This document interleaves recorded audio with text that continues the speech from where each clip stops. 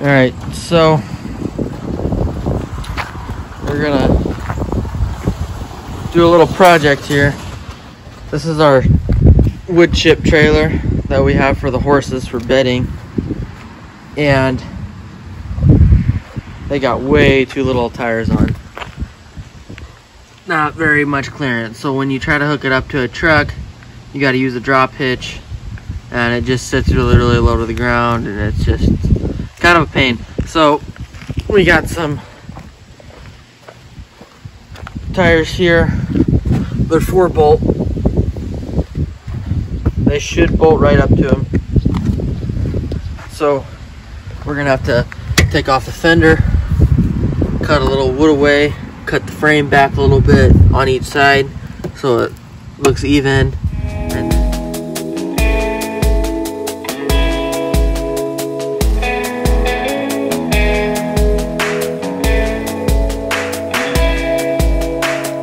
And I have to start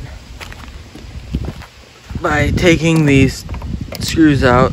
I don't have a bit that size, so I just gotta do it by hand.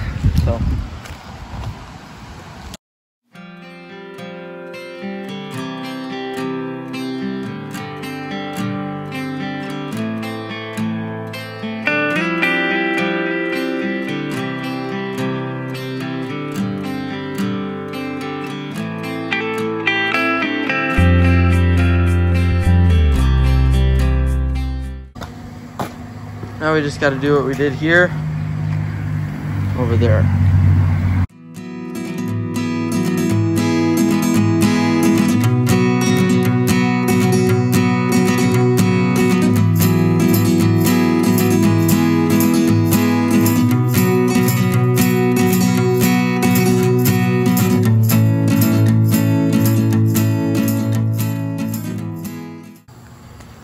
All right, so there you got it.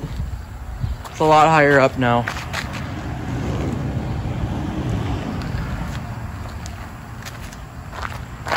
That's gonna wrap it up for this video. I mean, I still have to put these boards on, but...